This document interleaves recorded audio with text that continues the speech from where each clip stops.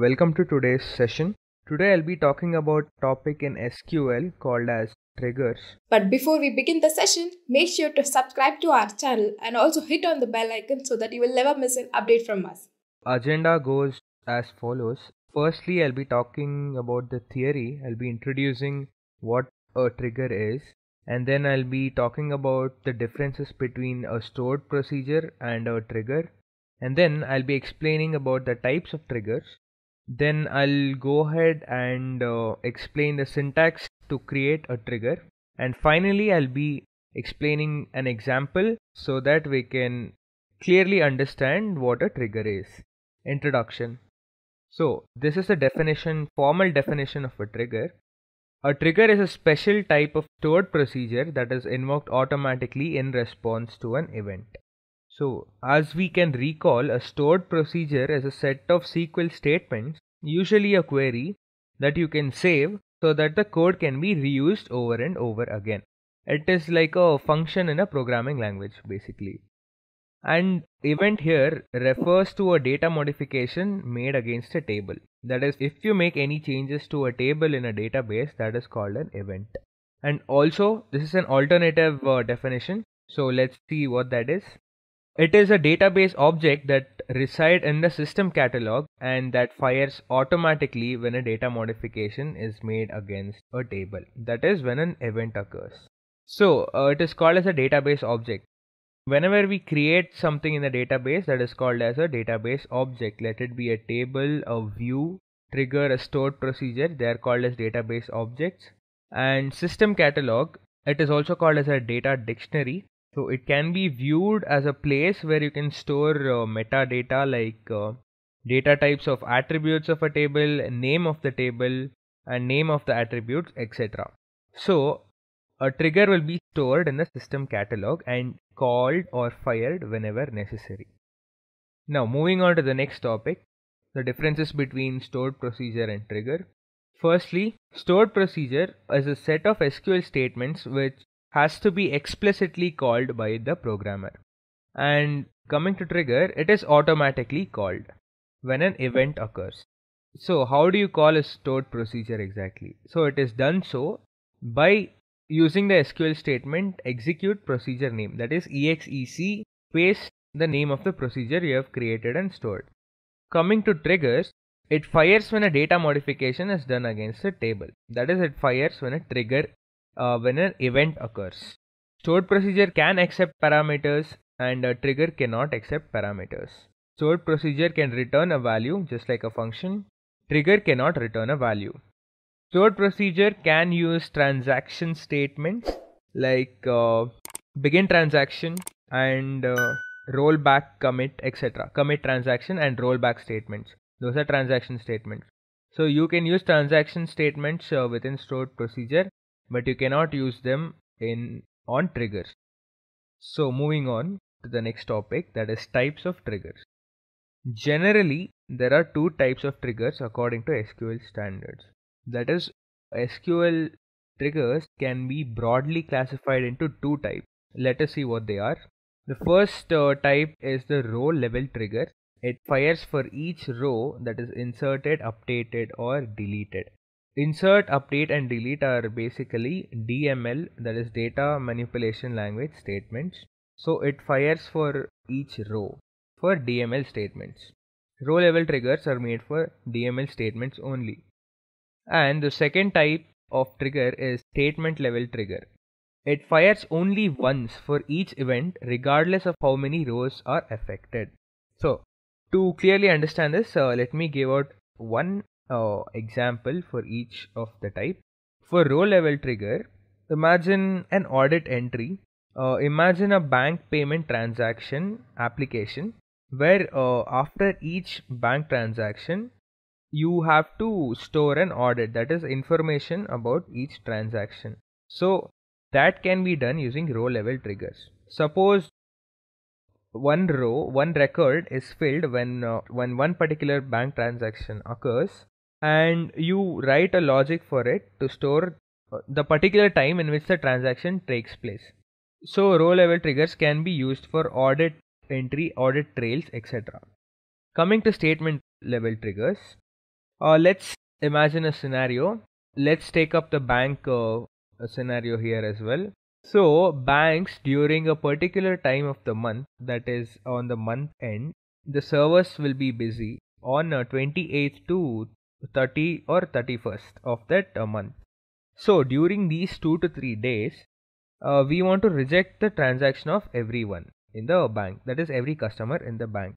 So, in order to do that, you can create, you can write your own logic in the statement level trigger and then set it up so that uh, a message is given out to any customer who wants to make transactions during that uh, time interval.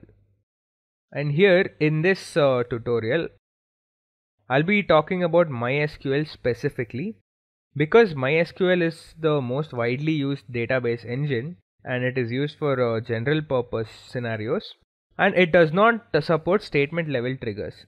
So we are only talking about row level triggers here when it comes to MySQL. Within the row level triggers, there are six type of triggers. Let us see what they are. Uh, these uh, six type of triggers in MySQL are defined on uh, data manipulation language statements like insert, update and delete.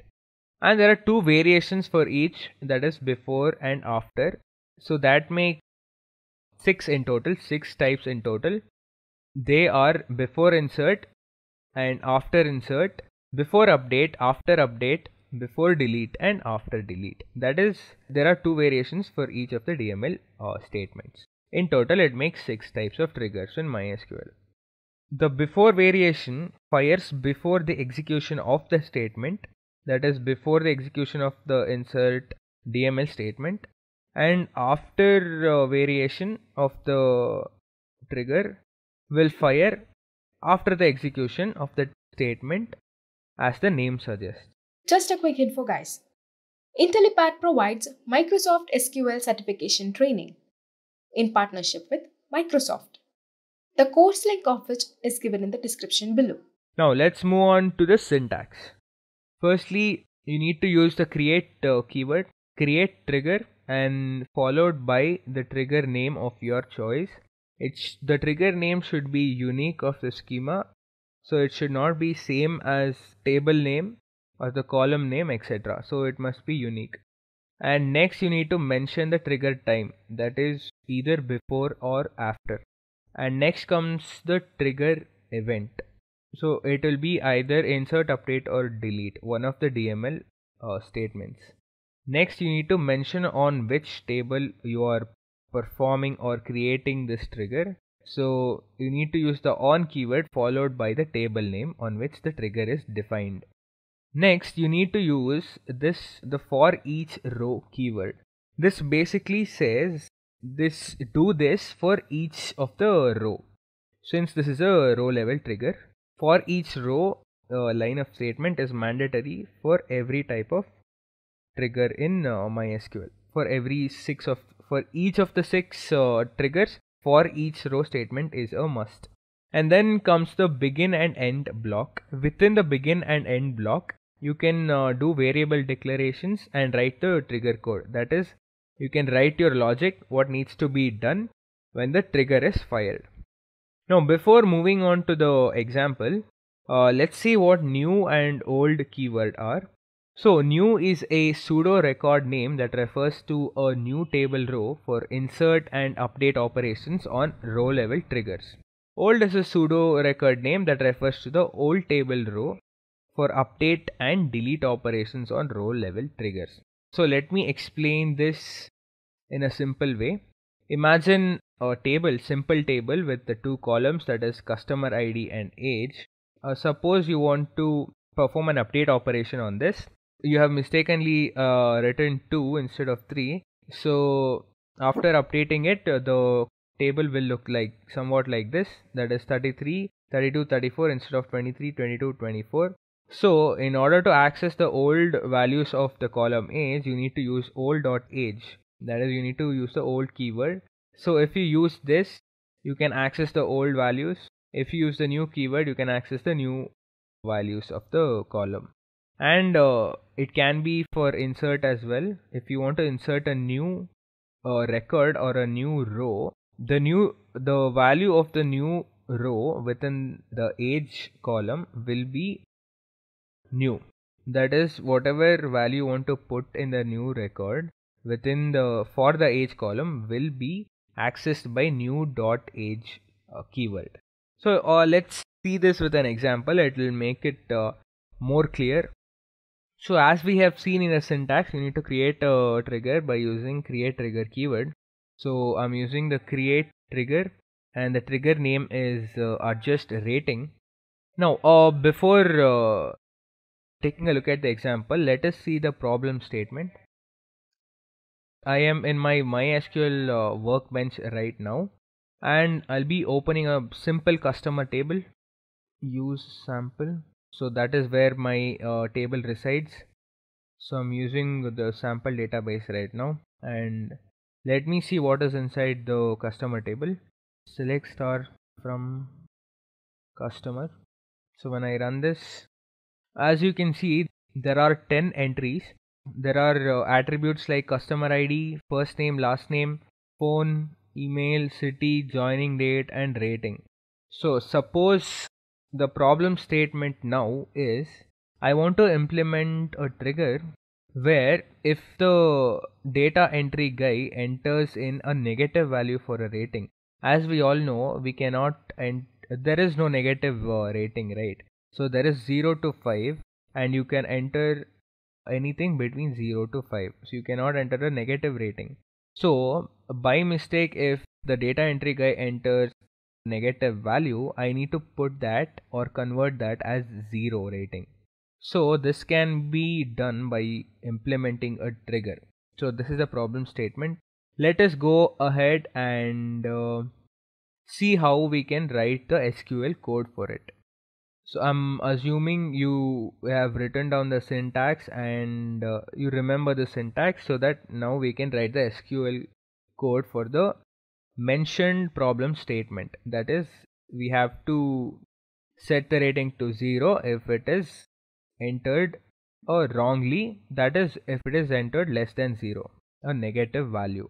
So i'm using create trigger keyword and then using adjust rating as my trigger name I want this trigger to be before insert and that is before inserting the record before inserting the row this needs to happen. So the timing is before and the DML statement is insert and I'm doing this on the customer table so I'm using the on customer uh, statement. And for each row is a mandatory statement that is I need to implement this for each and every row. That is why I'm using this SQL statement and then within the begin and end block I'm writing the logic. So the logic goes something like this. If new dot rating that is I want to access whatever value that is uh, entered in the new row in the new record.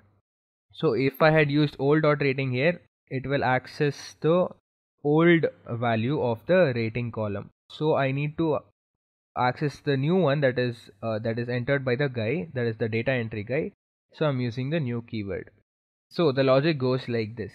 If new dot rating is less than 0 that is if it is in a negative value then set new dot rating is equal to 0 basically means if the value entered is negative put it to 0 or convert it to 0 and i'm ending the if statement and the begin and end block ends here so let us see how it is implemented in the MySQL workbench. So I'm going to the navigator box here and then I'm right clicking on the customer table and then I'm go clicking alter table. So here uh, in this particular tab I have the triggers uh, button and I'll click on that. On the left side there are six options that is each for uh, six type of triggers. If you hover over this options you will get an icon that is uh, plus sign which means create a new before insert trigger. So i'll click on this and it will create pre executed code. That is it will give me a syntax that is a half written syntax. I only need to write the code here. If you click on the plus sign it will create a new sample code So I only need to write my logic, the trigger logic under the begin and end block. So let us write it.